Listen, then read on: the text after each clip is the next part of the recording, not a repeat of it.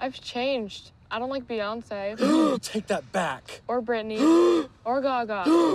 I only fake it because you guys like that stuff. I'm different.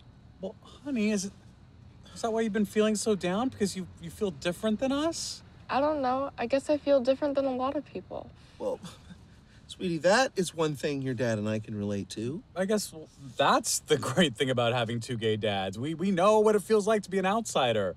Okay, but, but here's what happens you start finding people who don't quite fit in and you start not fitting in together. We never want you to feel like you have to be someone else for us.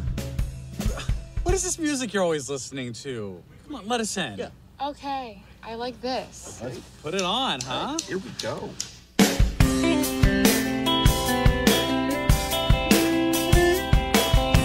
Yeah, yeah, yeah, I like it. She's gonna kill us.